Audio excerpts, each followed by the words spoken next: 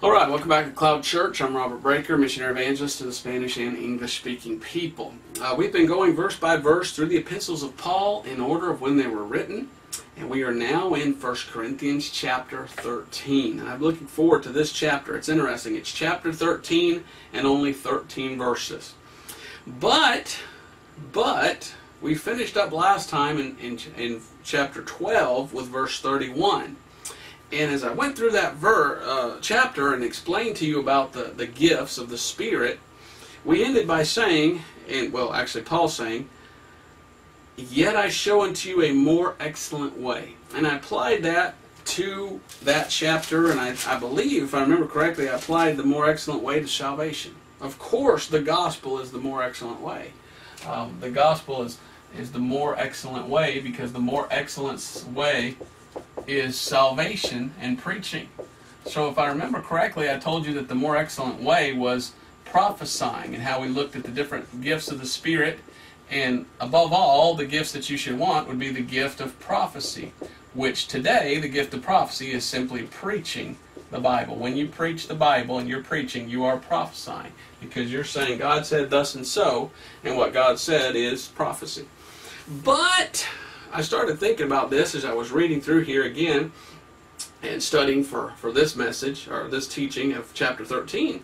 And in the old days, there were no chapter divisions, no verse divisions in the Bible.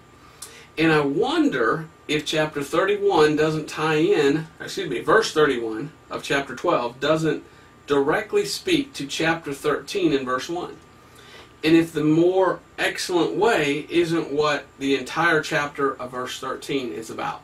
So I wonder if when he says, Behold, I show you a more excellent way, if that isn't 13 verse 1 and all the way to verse 13, what is the, that whole chapter about? Well, I'll go ahead and spill the beans. it's about charity. So probably Paul is saying that the more excellent way, more excellent than anything, is charity. Now, why do I say that? Because both Paul and Peter say in their writings that there is one thing that's more important than anything ever. And what is that one thing? This right here. Let me show you that. Let's go to Colossians chapter 3. I'm going to show you um, what they're saying. Of course, we're talking about charity. I'm going to show you what Paul says. I'm going to show you what Peter says. And this, to me, is incredible because this is so important. This is the most important thing that we can have as Christians. And I've yet to meet Christians nowadays that have this. So few people today that claim to be Christians have or practice charity. That's what's so sad. So very sad. So go to Colossians chapter 3 and verse 14. Colossians 3:14. And in Colossians chapter 3 and verse 14, look at what Paul says. This is so incredible. And above all these things, put on charity, which is the bond of perfectness. So Paul says, above all things. Well, that's pretty interesting. If you're putting something above all things, you're esteeming it very high. He said to put on charity. And then he tells us charity is the bond of perfectness. If you want to be a good Christian, if you want to be as perfect a Christian as you can be, you need charity. And Paul says it's, it's above all things, it's that important to have charity. Interesting. What does the Peter say? Let me look it up here. I've got it here on my computer. Uh, Peter tells us about charity in 1 Peter 4 8. Now, watch what Peter says. And above all things, have fervent charity.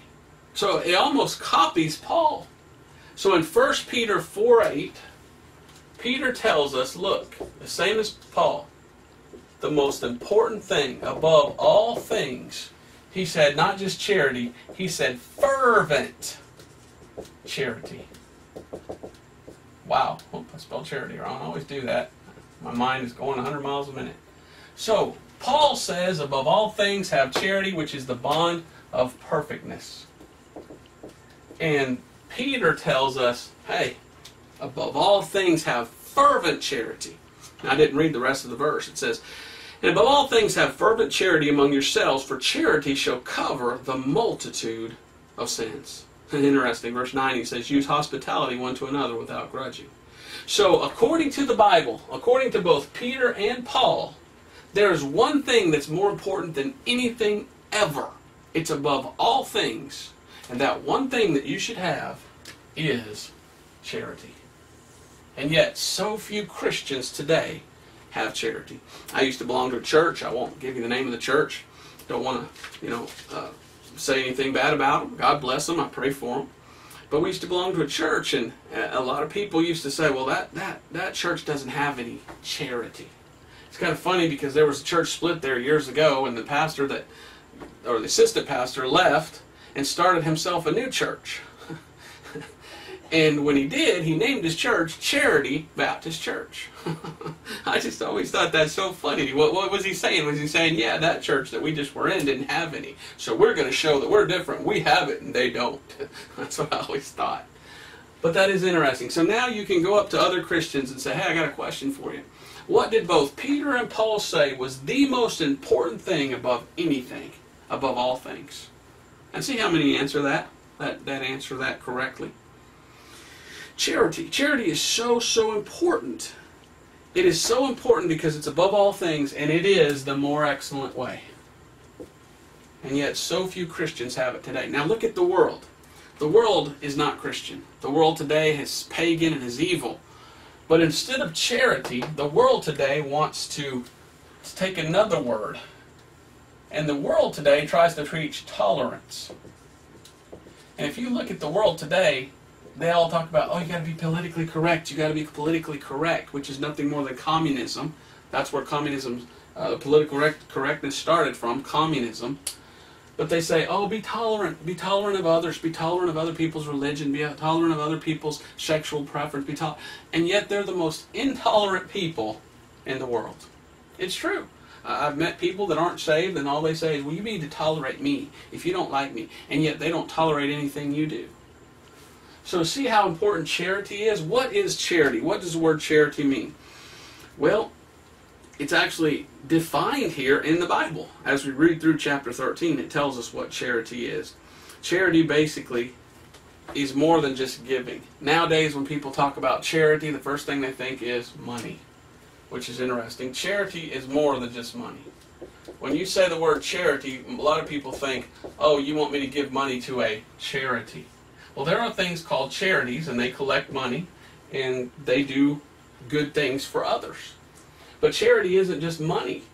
Charity really is sacrificial giving. Charity is giving sacrificially, giving till it hurts. It's doing something for someone else when you don't have to, even when you don't want to. It's just because you know it's the right thing to do. Now, the thing that irks me about new versions of the Bible, almost every new version besides the King James Bible takes the word charity out and they replace it with, I almost wrote it in Spanish, with love. Almost wrote amor.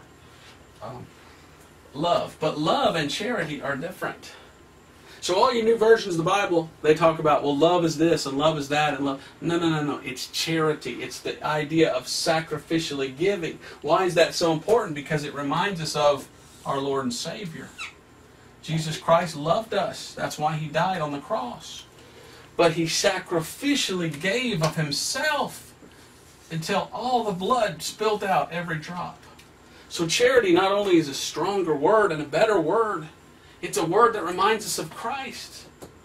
It's a word that reminds us of doing for others. And it is the thing that Bible says is above all things. A lot of people today, they don't understand the word love. People today look at the word love and they automatically think love is an emotion. Uh-uh. Love is an action. Jesus Christ's action on the cross was dying for our sins. So, the better word, the correct word, the King James Bible word is charity. And new versions change that word to love and they water it all down. So go to 1 Corinthians chapter 13 and begin in verse 1 and there's a lot of interesting things here. in this passage. The Bible says, Though I speak with the tongues of men and of angels. So he talks about how he speaks and, and the languages he speaks. Which is interesting because the very next chapter, chapter 14, is about tongues. Boy, I can't wait to get to that chapter. That's interesting. But he says, Though I speak with the tongues of men and of angels and have not charity, I am become a sounding brass or a tinkling cymbal. So the Apostle Paul says, I'm nothing but a little annoying little, bam, bam, bam, bam, you know, tambourine. Oh, I hate a tambourine. Oh, I hate those things. They're and they're just annoying. And they're not loud. And Paul says, if I don't have charity, I sound like one of those little annoying things with that small little tone. He says, I don't want to sound like that. I want to sound like somebody who knows what he's talking about. Though I speak with the tongues of men. Well, what languages did Paul speak? Well, we know that Paul spoke Hebrew. We know that Paul spoke Latin. And we know that Paul spoke Greek. So Paul spoke several different languages. But he says, though I speak with the tongues of uh, with the tongues of men and of angels. What's the language that angels speak? What is the language of the angels? I believe it's Hebrew. You see, Adam was created by God. And I believe when God created Adam, this was the language of heaven. And the language that was eventually passed on to Abraham and Isaac and Jacob. And that Hebrew is the actual language that the angels speak. And that's amazing because when you look at that language of Hebrew, you find an amazing, amazing language. Hebrew, every word in Hebrew comes from a root word with three letters. It's always three. One, two, three letters. Why is that important? Well, it's the language, uh, I believe, of God, and the three letters represent the Father, Son, and the Holy Ghost. Every word in Hebrew has its root in, in a, a root word with three complete letters. And every letter in Hebrew means something. Every word in Hebrew means several things. And every letter in Hebrew means a number. So when you write something in Hebrew, like a sentence, the sentence means something. But each of the words means something by itself. It has numerical value. But also, every letter means something. Um, the other day, I, I heard someone talking about the word Jesus in Hebrew. I don't know how to say it. Is it Yeshua or something to that? But the word Jesus or Yeshua in Hebrew, if you take all the letters of the words, and I'm not going to spell it out here, they said that each one of those letters in itself is a word and that the actual name of Jesus in Hebrew is a sentence. And it's something uh, to the effect, and I don't remember exactly, that the name Yeshua in Hebrew actually means the one who came from heaven to destroy the eye. Amazing. Because the Illuminati today, under Satan, believe in the all seeing eye. And so they have their little symbol on the back of the dollar. And actual Jesus Christ, his name, Jesus, whether you knew that or not, is actually two words. J is the Hebrew word for Jehovah, shortened. And Zeus is the Greek word for saves. So the actual name of Jesus Christ means Jehovah saves. But the name of Jesus in Hebrew, Yeshua, some people say is how you pronounce it. The actual name Yeshua means he who came from heaven to destroy the eye. Who's the eye? The Illuminati, the devil, the Antichrist, the all seeing eye. So even the name of Jesus in Hebrew means something. No wonder the name of Jesus the devil hates. So, what is this tongue of of angels. Let's look at some verses. Let's go to Acts chapter 26 and verse 14. And just look at a couple verses, and, and I'll try to prove that the actual language of Hebrew is indeed the language spoken in heaven. Some people believe that, some people don't. That's fine. In Acts 26 14, it says, And when they were fallen to the earth, I heard a voice speaking unto me, and saying in the Hebrew tongue, Saul, Saul, why persecutest thou me? It is hard for thee to kick against the pricks. So here the Apostle Paul is telling about what happened to him way back in Acts chapter 9 when he got saved. And when he got saved, he went blind. He was stricken blind, and he heard a voice speaking to him from heaven in, a, in the Hebrew tongue. Well, who was speaking to him? Well, either it was an angel or it was God. So, what was the language that the angel or God spoke? It was Hebrew. So, that's a pretty good, strong point that the, the tongue spoken in heaven, spoken by angels, is the Hebrew tongue. So, verse 1 Though I speak with the tongues of men or of angels, and have not charity, I am become a sounding brass or tinkling cymbal. Okay? Now let's look. I forgot to start my clock here, so I don't want to go over in this teaching. And though I have the gift of prophecy and understand all mysteries, verse 2. Now we just finished up at thecloudchurch.org the seven mysteries in the Bible in our weekly sermon series. And that was a great blessing. If you haven't seen that, go check it out. But God revealed unto Paul many different mysteries. It says, Though I understand all mysteries and have all knowledge, and though I have all faith, so that I could remove mountains and have not charity, I am nothing. Paul says, I'm nothing without charity. You see how important it is? See why they say it's above all things? You're nothing without charity, without sacrificial giving, without putting others above yourself. It says, verse 3 And though I bestow all my goods to feed the poor, and though I give my body to be burned, and have not charity, it profiteth me, profiteth me nothing. You can give away all you have and, it, and not have charity. Even though you give to charities. You know, how much did you give this year to charity? Well, you can give to charity, but you can do it without charity. A lot of people give to charities for a tax write off. They don't have any charity within themselves. So charity is something that you practice. It's because you want to, because you you feel like it's the right thing to do, and you you say, "I got to do this. It's right." So verse. Oh, let me read verse 3, 3 again. Though I bestow all my goods to feed the poor, and though I give my body to be burned and have not charity, it profit me nothing. It's all about your motive of why. Why are you doing it? Verse 4 Charity suffereth long and is kind. Charity envieth not. Charity vaunteth not itself, is not puffed up. So charity is a lot of things. Verses 4 through 8 divine, uh, define charity. It says that it's patient and it suffers long. It says it's kind or polite. It envieth not. There's no jealousy in charity. It vaunteth not itself. What does that mean? It means humility. There is humility in charity. It says it's not her own. In other words, it's, it's concerned more about others than yourself. It's not easily provoked, verse 5. So that has temperance. And then it says, thinketh no evil. So when you have charity, you're always thinking with the right mind. That's why Paul says it's the bond of perfectness. When you're living right, doing right, you're kind, you're loving, you're caring, and you're putting others above yourself, you're a true Christian. It's the bond of perfectness, charity.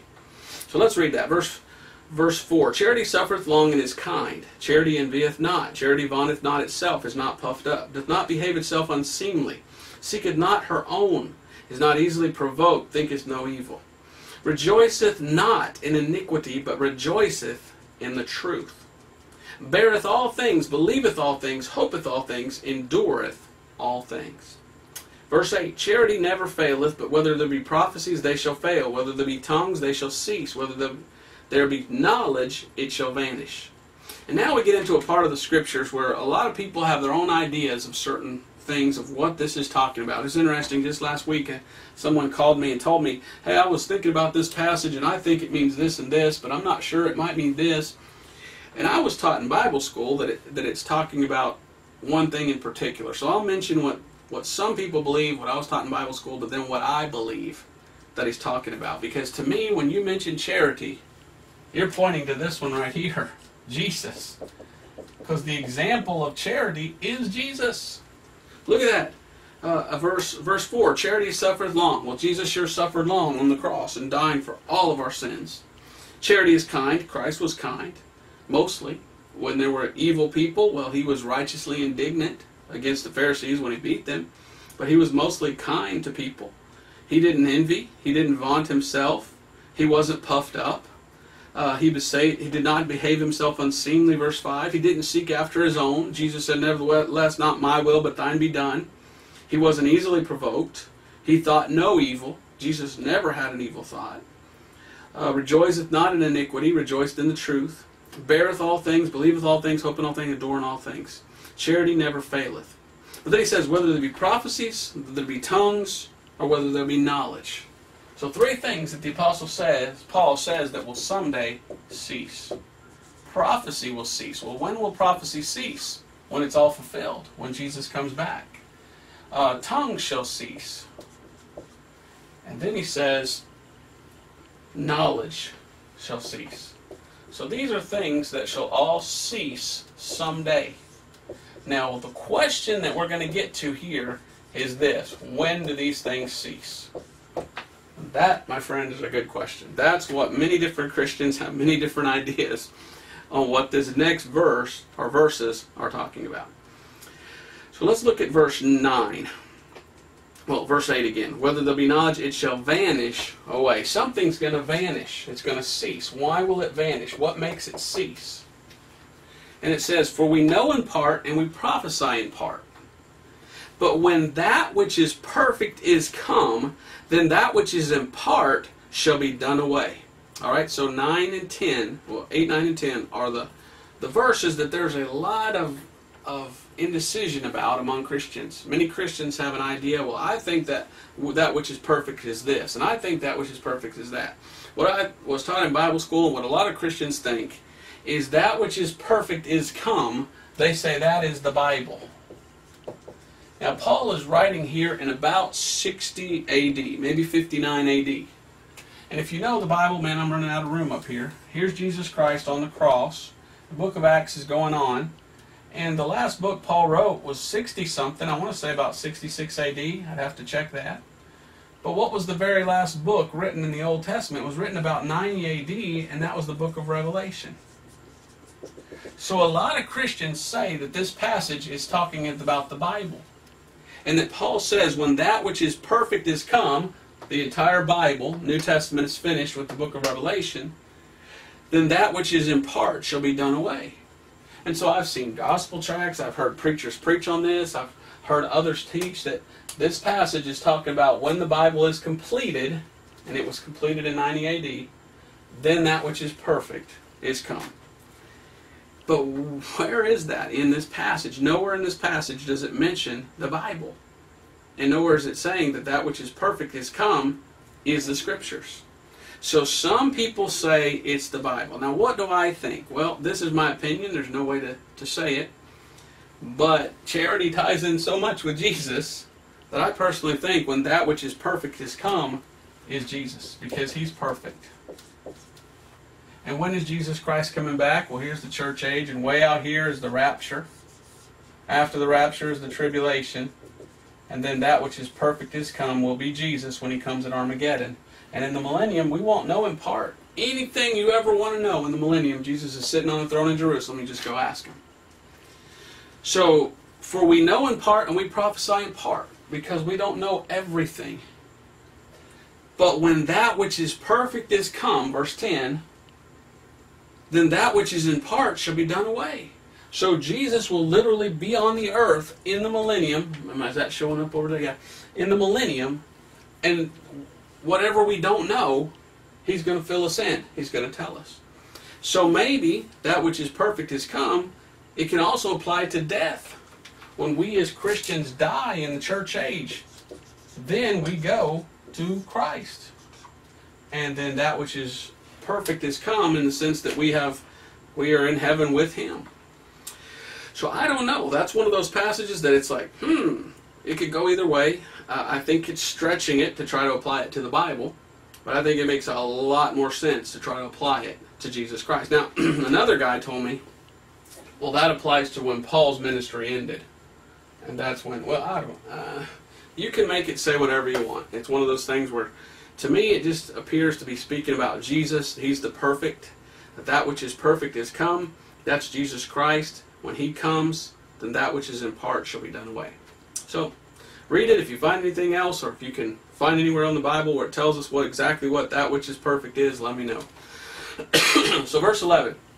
When I was a child, I spake as a child, and understood as a child, and I thought as a child. But when I became a man, I put away childish things. I love that verse. That's a very uh, much quoted verse among men.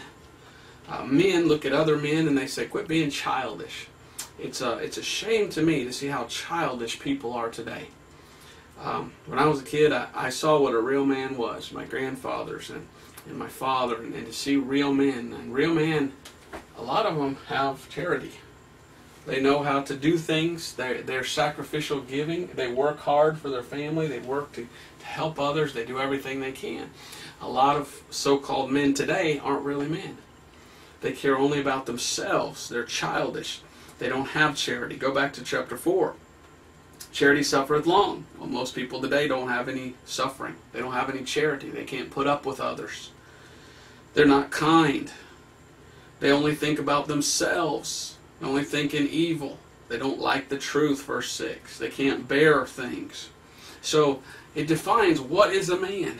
A man is someone who has finally understood what charity is.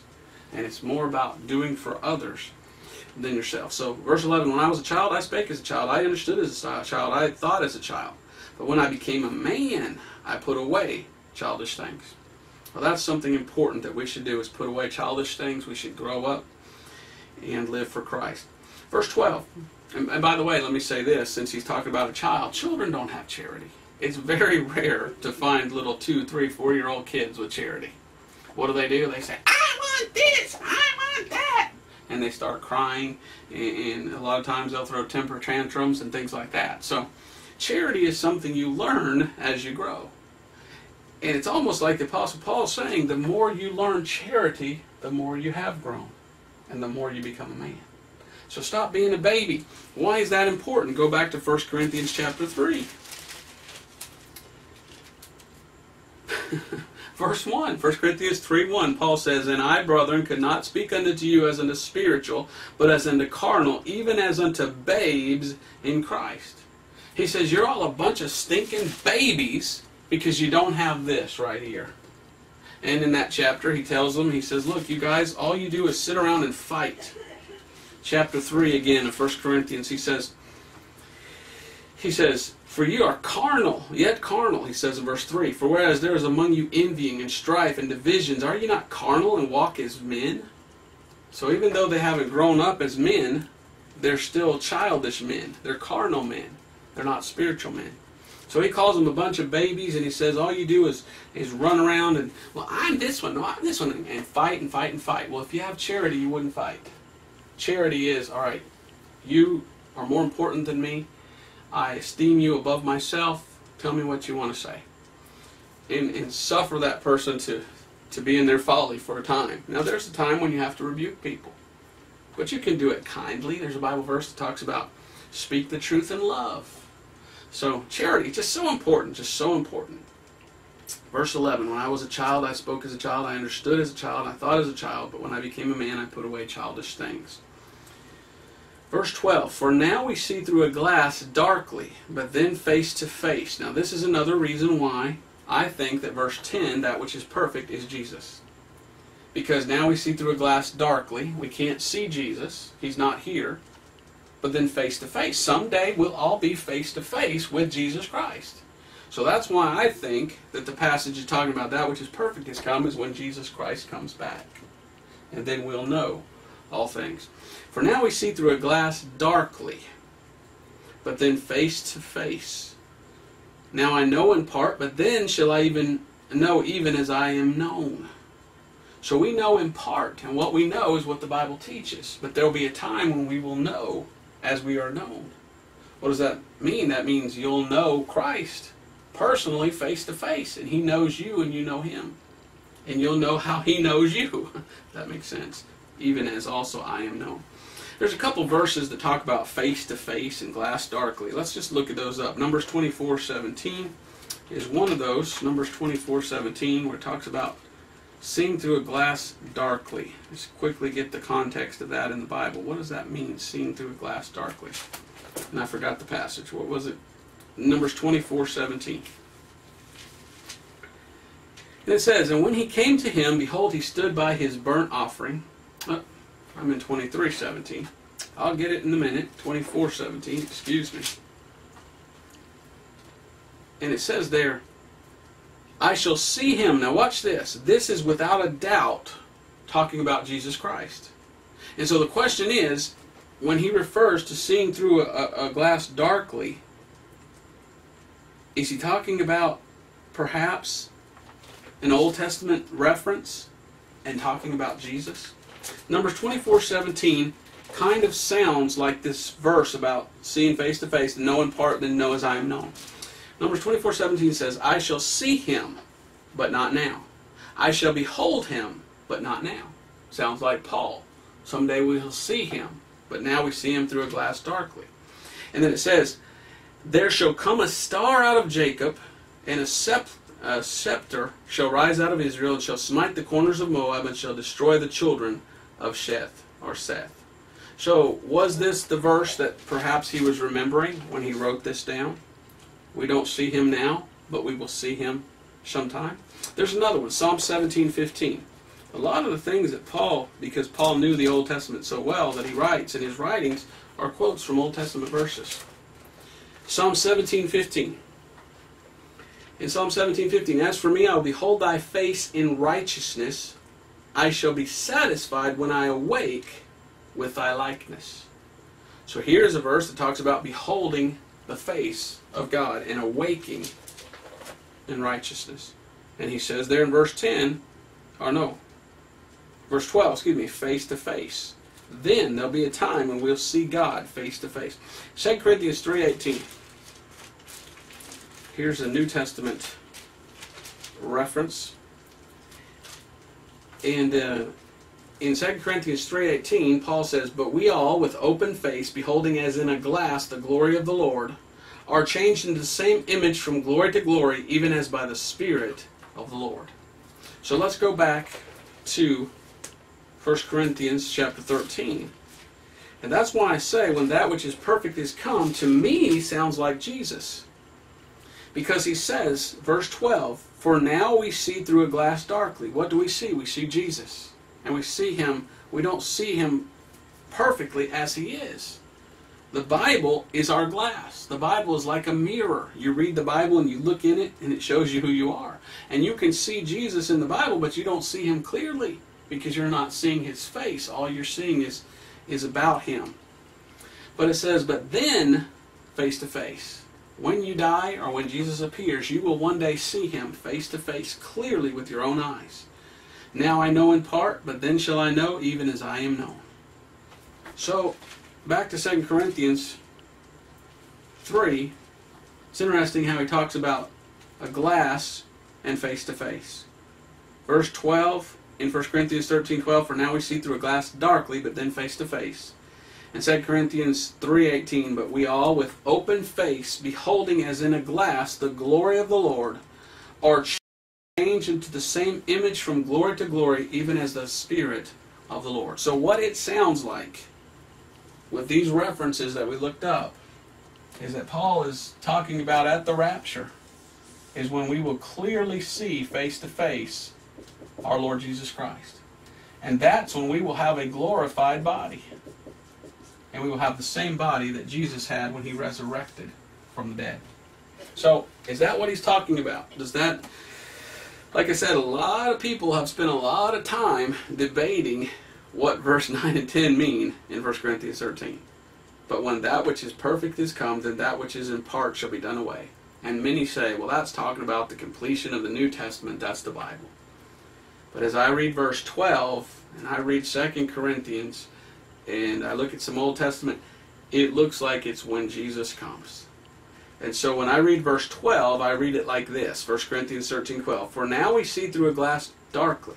We who are saved and are living in this world see through a glass darkly.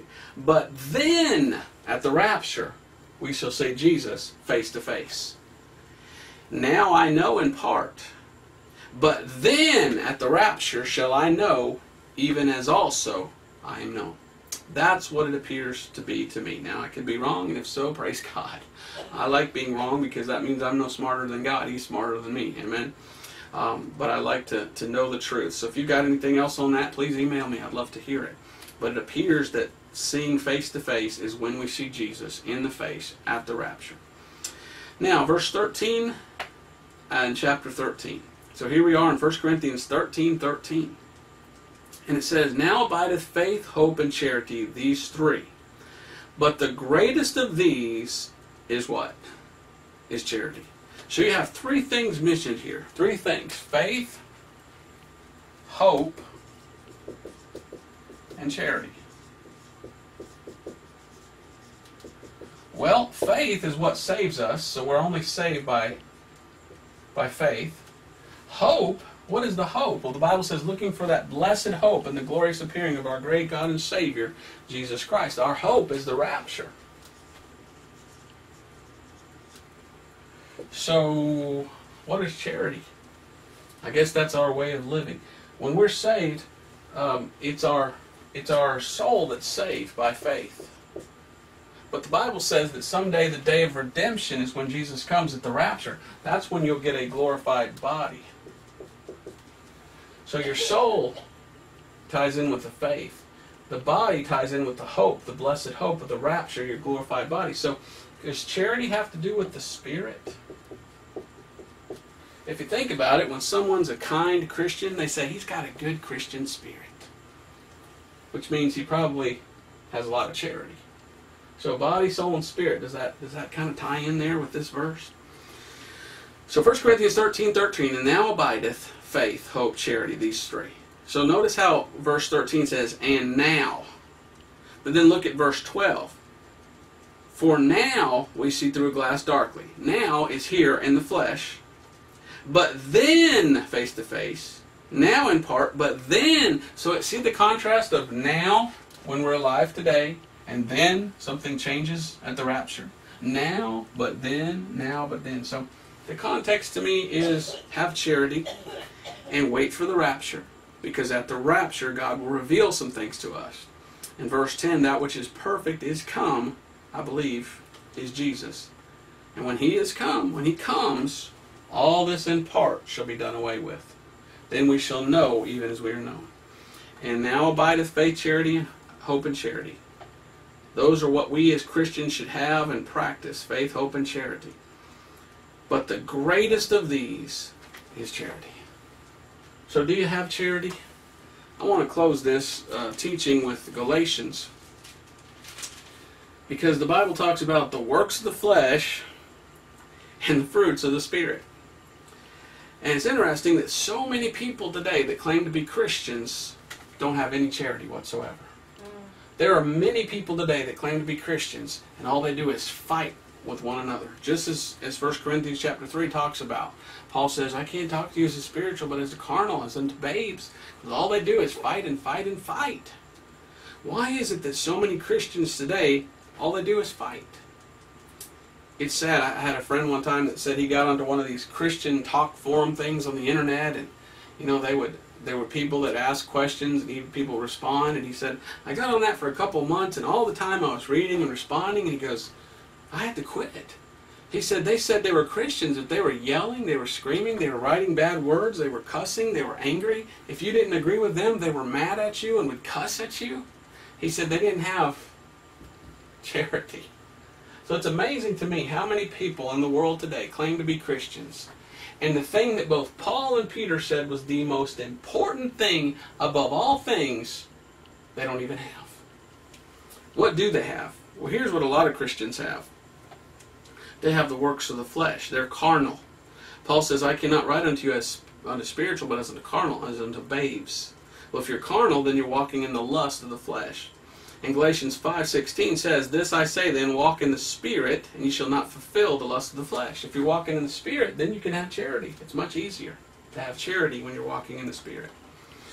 Verse 17, For the flesh lusteth against the Spirit, and the Spirit against the flesh, and these are contrary the one to the other, so that you cannot do the things that you would.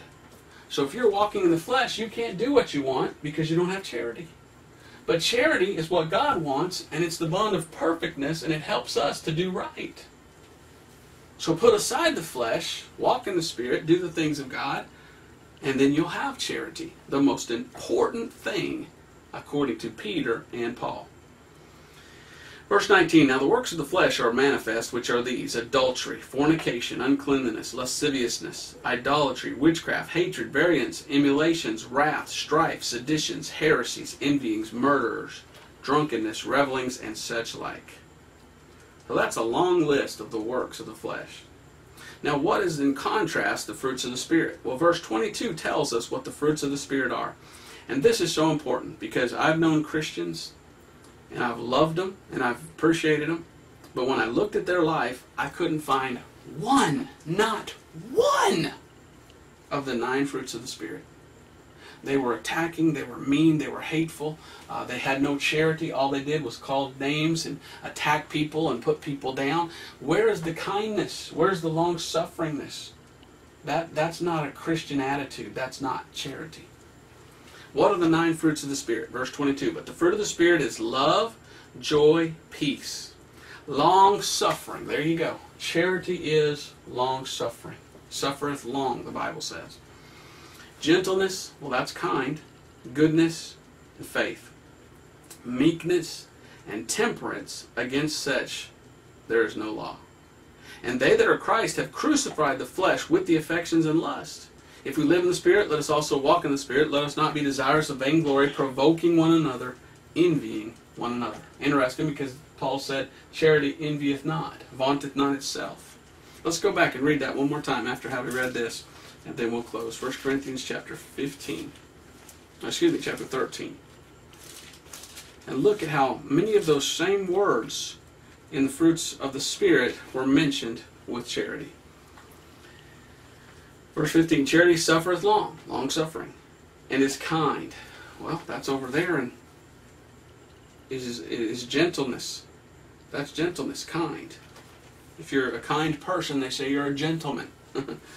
it says, uh, Charity vaunteth not itself, is not puffed up, doth not behave itself unseemly, seeketh not her own, is not easily provoked. Well, verse 26 of Galatians 5 said, Let us not be desirous of vainglory, provoking one another. Hmm. Um, and it says, Rejoice not in iniquity, uh, rejoiceth in truth, beareth all things. Charity bears all things.